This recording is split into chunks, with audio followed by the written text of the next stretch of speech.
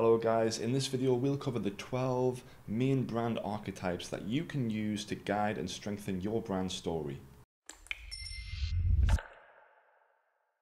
Any majorly successful brand has a strong sense of identity and one that also mirrors the hopes and aspirations of their target audience. Finding your brand voice, especially in the small business category, can be quite difficult and often expensive. However, identifying your brand archetype can save you loads of time and money in the long run and show you how to connect instantly with your target audience. The first brand archetype we're going to look at in this video is the innocent archetype, whose core desire is to be free, happy, and fears doing something wrong and being punished. Think WALL-E or Audrey Hepburn in pretty much any of her films. The innocent customer prefers straight talking, gimmick free advertising and is naturally drawn to optimistic brands heavy-handed guilt or inducing ads are likely to repulse them and innocent brands promise simplicity and promote themselves as being pure, simple and trustworthy. The worst thing that can happen is an innocent business is uncovered and corrupt by dissent or distrust. It's actually far better to go for a more simple, trustworthy and simplistic approach as that is more likely to get their attention and their trust. Second is the hero archetype, whose main motivation is to prove their worth and their main fear is weakness or failure. Think Erin Brockovich or Michael Jordan. Hero customers are more likely to be swayed by products that are going to put them ahead of everyone else and give them a distinctive advantage. Hero brands promise triumph, promoting themselves as superior to the competition. The worst thing that can happen to a hero business is for a competitor to be rated higher or proven to be better value. Third is the regular guy or girl archetype. They want to belong and feel part of something, and they're afraid of being left out or standing out in the crowd. Think Bilbo Baggins or Homer Simpson. The everyman appreciates quality and dependability in their brands, and they prefer something that feels familiar and they don't want to get emotionally invested in the brand too much. They just want to be accepted by everyone. The everyman brand archetype promises belonging, and also takes pride in their down to earth ethos. The worst thing that happened to a regular guy archetype or everyman archetype is to appear greedy or elitist. Fourth is the nurturer archetype, driven by their need to care for others and afraid of being met with selfishness and ingratitude for their sacrifices. Think Maria from The Sound of Music or even Gandhi. Nurturer customers want to be recognized for their efforts without being patronized. Aggressive adverts are a major turn-off and a complete no-no, whereas emotionally driven adverts often strike a chord. Nurturer brands often promise recognition for their customers' protection, safety, and support, and the worst thing a nurturer business can be seen as is harmful or even exploitative. Fifth is the creator, driven by their desire to produce exceptional work and terrified of mediocrity. Think of someone like Doc Brown from Back to the Future or Steve Jobs creative consumers generally shun advertising altogether, but if an advertising effort is creative enough and it captures their attention, they will give it the time of day. Those creative brands promise authenticity, positioning themselves as the key to unlocking the customer's creativity. Think of Apple, for example.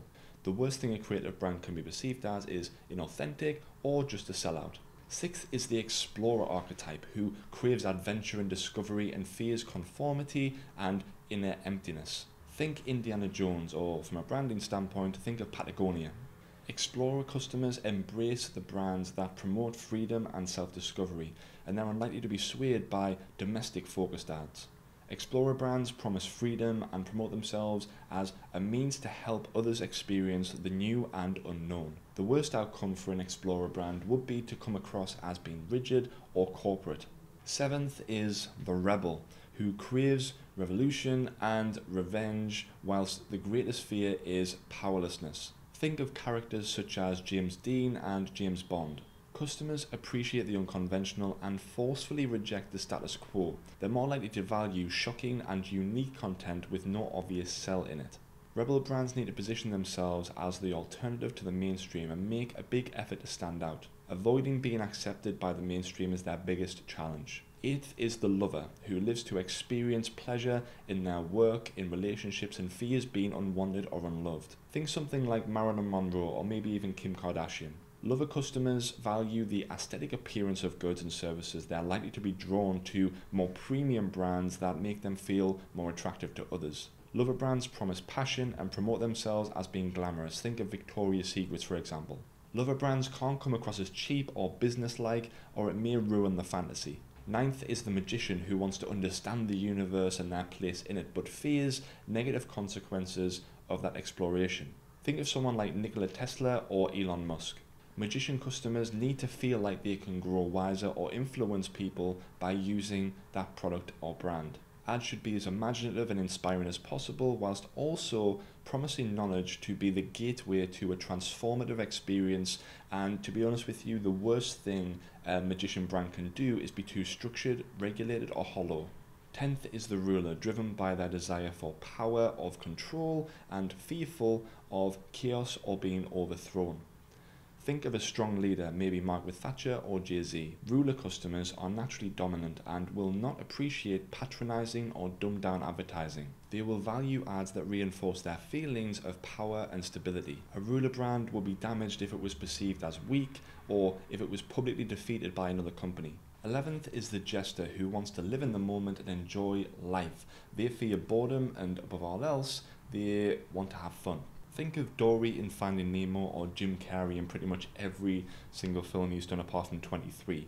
Jester customers find regular adverts deeply boring, but they love anything unusual, playful, especially ads that poke fun at themselves.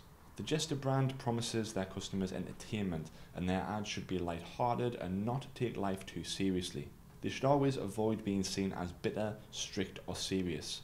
Finally, the twelfth is the sage who seeks the truth and wants to find wisdom. Think Yoda or David Bowie. Sage customers believe that knowledge comes from growth and constantly looking for new sources of information. They prefer ads that challenge them to think a new way. Sage brands promise wisdom to their audience and they trust customers to grasp difficult ideas and understandings whilst also stimulating them intellectually. Intelligently put together joking ads can also work, but avoid being too dumb or patronizing. And that's pretty much it. So I hope this has helped you to think about your business in a slightly different way. Hopefully this video has given you an insight in regards to why a lot of companies project themselves in the way that they do. And it's also inspired you to engage with your audience in a new way as well. If you have any questions, then please let me know in the comments below. Make sure to leave a like, subscribe, and I will see you in the next video. Take care, guys.